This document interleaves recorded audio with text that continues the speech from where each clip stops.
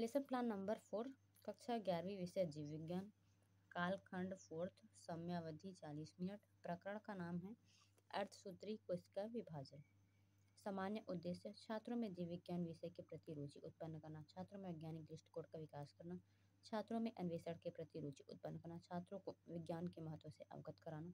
विशिष्ट उद्देश्य, छात्रों को अर्थसूत्री कोशिका विभाजन के बारे में ज्ञान प्रदान करना। पूर्व ज्ञान, छात्रों को कोशिका विभाजन एवं इनके प्रकार के बारे में आधारभूत ज्ञान है, लेकिन अर्थसूत्री कोशिका विभाजन का विशेष ज्ञान नहीं है। शिक्षण विधि, व्याख्यान सह प्रदर्शन विधि, शिक्षण प्रविधि, प्रश्नोत्तरीकरण, स्पष्टीकरण, शिक्षण सूत्र, ज्ञात, अज्ञात की ओर, सरल से जटिल की ओर, सूक्ष्म से स्थूल की ओर, मूर्त से अमूर्त की ओर। शिक्षण सहायक सामग्री, श्यामपट, चौक, डस्टर आदि। विशिष्ट शिक्षण सहायक सामग्री, चार्ट, मॉडल आदि। प्रस्तावना, प्रश्न हमारे शरीर किससे मिलकर बना होता है? छात्र छात्र आंसर करेंगे, कोशिकाओं से। कोशिकाओं की संख्या में वृद्धि कैसी होती है? आंसर आएगा, कोशिका विभाजन के द्वारा। कोशिका विभाजन कितने प्रकार के होते हैं? कोशिका विभाजन तीन प्रकार के होते हैं, समसूत्री, अर्धसूत्री एवं असूत्री कोशिका विभाजन। अर्धसूत्री कोशिका विभाजन से अब क्या समझते हैं?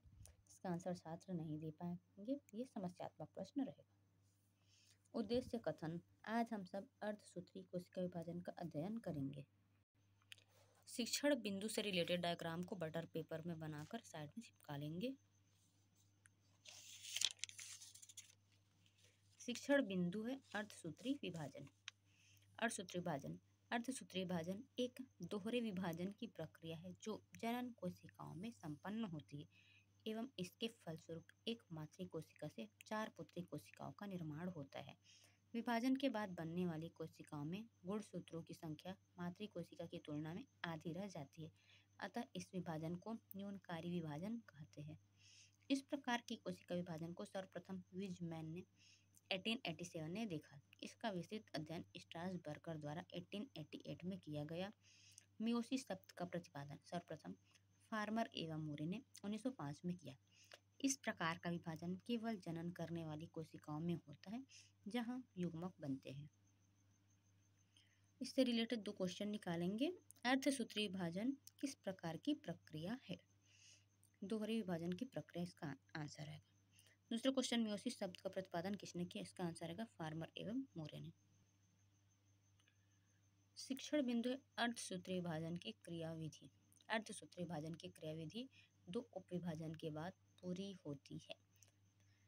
पहला है प्रथम अर्धसूत्री विभाजन, दूसरा द्वितीय अर्धसूत्री विभाजन। प्रथम अर्धसूत्री विभाजन, यह विभाजन भी विश्रामावस्था केंद्रक तथा उसका द्रव्य विभाजन की तीन उप अवस्थाओं में पूर्ण होगी। इस विभाजन के बाद नए केंद्रक में गुणसूत्रों की संख्या आधी रह जाती, अतः म्योसिस वन को हेटेरोटाइपिक विभाजन कहते हैं। विश्रामावस्था के बाद प्रथम अर्धसूत्री विभाजन निम्न चरणों में पूर्ण होती है। पूर्वावस्था वन, मध्यावस्था वन, पश्चावस्था वन, अंत्यावस्था वन। क्रॉस क्वेश्चन करेंगे। प्रथम अर्धसूत्री विभाजन कितने चरणों में पूरी होती है? इसका आंसर आएगा तीन चरणों में। हेटेरोटाइपिक विभाजन किसे कहते हैं? इसका आंसर आएगा म्योसिस प्रथम। शिक्षण बिंदु पूर्वावस्था प्रथम। माइटोसिस के पूर्वावस्था की तुलना में म्योसिस वन की पूर्वावस्था अत्यंत जटिल होती है। इसे पाँच उप अवस्था में विभाजित किया गया है। पहला है लेप्टोटिन अवस्था। इसमें केंद्रक आकार एवं आयतन में बड़ा दिखाई देता है। क्रोमेटिन जालिका संघनित होकर गुणसूत्रों का निर्माण करती है। सेकंड है जायगोटिन अवस्था। इस अवस्था में समजात गुणसूत्र आपस में जोड़ी बनाते हैं। इस क्रिया को सूत्र युग्मन कहते हैं। गुणसूत्रों की यह जोड़ी एक जटिल रचना के रूप में दिखाई देती है, जिसे सिनेप्टोनिमल सम्मिश्र कहा जाता है। सूत्र युग्मन के बाद गुणसूत्रों के जोड़ को युग्मित गुणसूत्र कहते हैं। सिम क्रॉस क्वेश्चन करेंगे। सूत्र युग्मन की प्रक्रिया पूर्वावस्था वन के किस उप अवस्था में होता है? इसका आंसर रहेगा जायगोटिन उप अवस्था।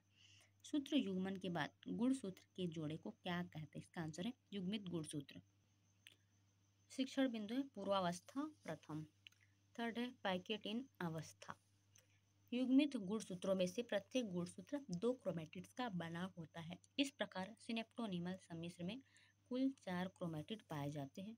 अतः युग्मित गुणसूत्र को चतुष्क या टेट्राड कहते हैं। युग्मित गुणसूत्रों में समजात गुणसूत्रों के नॉन सिस्टर क्रोमेटिड के बीच इनके खंडों का आदान प्रदान होता है। इस क्रिया को जीन विनिमय कहते हैं। नेक्स्ट है डिप्लोटीन अवस्था। सिनेप्टिकल एवं आकर्षण बल में कमी के कारण बाइवेलेंट एक दूसरे से अलग होने लगते हैं। गुणसूत्र अचानक एक दूसरे से अलग नहीं होते, बल्कि कुछ स्थान पर वे आपस में जुड़े होते हैं। इन बिंदुओं को येजमा कहते हैं। क्रॉस क्वेश्चन करेंगे। पहला क्वेश्चन, जीव, जिन विनिमय की प्रक्रिया पूर्वावस्था वन के किस उप अवस्था में होती? है इसका आंसर आएगा पैकेटिन उप अवस्था।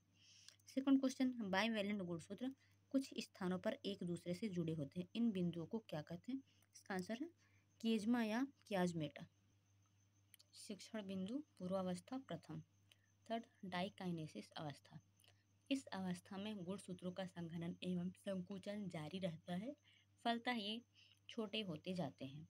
गुणसूत्र युग्म पर उपस्थित कियाजमेटा गुणसूत्रीय भुजाओं से नीचे की ओर उनके शीर्ष पर खिसकने लगते हैं। इस क्रिया को टर्मिनलाइजेशन कहते हैं। नेक्स्ट, मध्यावस्था प्रथम। इसमें निम्न क्रियाएँ होती हैं। केंद्रक भित्ति एवं केंद्रिका लुप्त हो जाते हैं। गुणसूत्र की जोड़ी मध्य तल पर स्थित हो जाते हैं। मध्य रेखा पर गुणसूत्रों का उन्मुखीकरण इस प्रकार होता है कि उनके सेंट्रोमियर ध्रुवों की ओर तथा भुजाएँ मध्य रेखा पर होती हैं। से क्रॉस क्वेश्चन निकालेंगे। प्रश्न पहला टर्मिनलाइजेशन की प्रक्रिया पूर्वावस्था वन की किस उप अवस्था में होती है? आंसर आएगा डाइकाइनेसिस उप अवस्था मध्य रेखा पर गुणसूत्रों का उन्मुखीकरण म्योसिस वन के किस उप अवस्था किस अवस्था में होती है? इसका आंसर है मध्य अवस्था प्रथम। शिक्षण बिंदु, पश्चावस्था प्रथम। समजात गुणसूत्रों की जोड़ी के बीच विकर्षण पैदा होता है, जिसके फलस्वरूप उनके बीच संपर्क टूट जाता है एवं वे एक दूसरे से अलग हो जाते हैं। सेकंड समजात गुणसूत्र विपरीत ध्रुवों की ओर गति करने लगते हैं। इसमें गुणसूत्र के सेंट्रोमेयर खंडित नहीं होते, अतः एक गुणसूत्र के दोनों क्रोमेटिड्स एक ही ध्रुव की ओर चले जाते हैं। क्रोमोसोम की जोड़ी से क्रोमोसोम के अलग होना डिसजंक्शन कहलाता है। नेक्स्ट है, अंत्यावस्था प्रथम इस अवस्था में निम्न क्रियाएँ होती हैं। गुणसूत्र दोनों ध्रुव की ओर पहुँच जाते हैं। गुणसूत्र पुनः क्रोमेटिन जालिका के रूप में परिवर्तित हो जाते हैं। क्रॉस क्वेश्चन किस अवस्था में समजात गुणसूत्र विपरीत ध्रुव और गति करने लगते हैं? इसका आंसर है पश्चावस्था प्रथम। क्रोमोसोम की जोड़ी से क्रोमोसोम का अलग होना क्या कहलाता है? इसका आंसर है डिसजंक्शन शिक्षण बिंदु, द्वितीय अर्धसूत्री विभाजन। म्योसिस वन के पूर्ण होने के बाद म्योसिस टू की शुरुआत होती है। यह तीन अवस्था अंतरावस्था केंद्रक विभाजन एवं कोशिका द्रव्य विभाजन में पूरा होता है। इसके अंतरावस्था को इंटरकाइनेसिस या इंटरामियोटिक इंटरफेस कहते हैं। मियोसिस टू के बाद केंद्रक में गुणसूत्रों की संख्या में कोई परिवर्तन नहीं होता, अतः इसे होमोटाइपिक विभाजन कहते हैं। अंतरावस्था, यह अंतरावस्था प्रथम एवं पूर्वावस्था टू के बीच की उपापचयी अवस्था है यह जीवन अवस्था के समान होता है एस तथा जी टू अवस्था नहीं पाए जाते। नए केंद्रक में प्रत्येक गुणसूत्र पहले से ही दो क्रोमेटिड के बने होते इस कारण इसमें एस अवस्था नहीं पाए जाते हैं। क्रॉस क्वेश्चन होम्योटाइपिक विभाजन किसे कहते हैं? इसका आंसर है द्वितीय अर्धसूत्री विभाजन। अंतरावस्था प्रथम एवं पूर्वावस्था द्वितीय के बीच की उपापचयी अवस्था को क्या कहते हैं? इसका आंसर है अंतरावस्था। शिक्षण बिंदु, म्योसिस द्वितीय केंद्रक द्रव्य विभाजन। केंद्रक विभाजन। म्योसिस टू का केंद्रक विभाजन चार अवस्थाओं में पूर्ण होता है। पूर्वावस्था द्वितीय। इसमें क्रोमेटिन जाल संघनित होकर गुणसूत्र का रूप धारण कर लेता है। केंद्रिका एवं केंद्रक झिल्ली नष्ट हो जाता है। सेकंड, मध्यावस्था द्वितीय। सभी गुणसूत्र मध्य रेखा पर आ जाते हैं। तर्कु तंतु बन जाते हैं जो गुणसूत्र के सेंट्रोमियर से जुड़ जाते हैं। नेक्स्ट है, पश्चावस्था द्वितीय। इसमें प्रत्येक गुणसूत्र का सेंट्रोमियर विभाजित होता जाता है। तर्कु तंतु में खिंचाव के कारण प्रत्येक गुणसूत्र का क्रोमेटिड अलग होकर विपरीत ध्रुव की ओर चले जाते हैं। अंत्यावस्था द्वितीय। ध्रुवों पर स्थित गुण सूत्रों के समूह के चारों ओर केंद्रक झिल्ली बन जाते हैं एवं केंद्रिका भी बन जाते हैं। क्वेश्चन करेंगे म्योसिस टू का केंद्रक विभाजन कितने अवस्थाओं में पूर्ण होता है? इसका आंसर है चार अवस्था। म्योसिस टू के। केंद्रक विभाजन के किस अवस्था में तर्कु तंतु का निर्माण होता है? इसका आंसर है मध्यावस्था द्वितीय। शिक्षण बिंदु, मियोसिस द्वितीय कोशिका द्रव्य विभाजन। इस प्रकार मियोसिस वन एवं मियोसिस टू विभाजन के बाद एक द्विगुणित कोशिका के अंदर चार केंद्रक बन जाते हैं। कोशिका द्रव्य विभाजन। अर्धसूत्री कोशिका विभाजन में केंद्रक द्रव्य का विभाजन दो विधियों द्वारा होता है। पहला विधि है सक्सेसिव विधि। ऐसे कोशिका द्रव्य विभाजन में कोशिका द्रव्य दो बार विभाजित होती है। पहले म्योसिस वन के बाद एवं दूसरे म्योसिस टू के बाद। म्योसिस वन के बाद दो संपूर्ण कोशिकाएँ बन जाती हैं। ये दोनों बाद में म्योसिस टू द्वारा विभाजित होता है। नेक्स्ट है साइमल्टेनियस विधि द्वारा।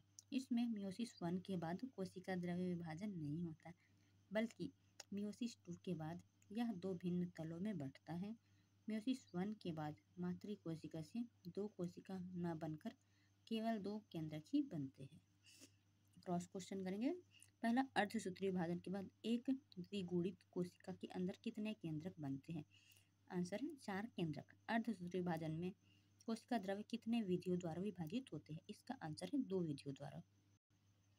पुनरावृत्ति के अंतर्गत पाँच ऑब्जेक्टिव टाइप के शॉर्ट क्वेश्चन पूछेंगे।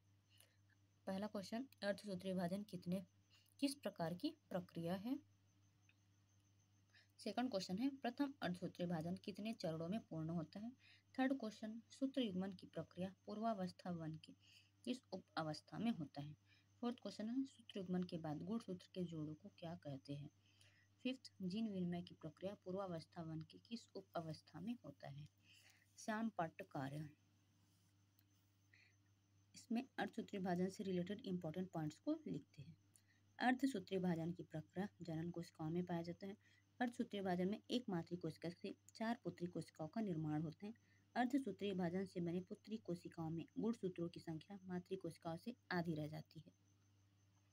नेक्स्ट आता है कक्षा कार्य। कक्षा कार्य में छात्रों को पाँच ऑब्जेक्टिव टाइप के क्वेश्चन दिया जाता है। पहला है म्योसिस शब्द का प्रतिपादन किसने किया? दूसरा जीन विनिमय की प्रक्रिया पूर्वावस्था वन के किस उप अवस्था में होता है? तीसरा है टर्मिनलाइजेशन की प्रक्रिया पूर्वावस्था वन के किस उप अवस्था में होता है? बाइवेलेंट गुणसूत्र। कुछ स्थानों पर एक दूसरे से जुड़े होते हैं। इन बिंदुओं को क्या कहते हैं? फिफ्थ क्वेश्चन है, होम्योटाइपिक विभाजन किसे कहते हैं? नेक्स्ट आता है गृह कार्य इसमें एक लॉन्ग क्वेश्चन देंगे। अर्धसूत्री कोशिका विभाजन में कोशिका द्रव्य का विभाजन की दो विधियों का वर्णन कीजिए। गृह कार्य के साथ ही पाठ योजना लेसन प्लान कंप्लीट हो जाता है।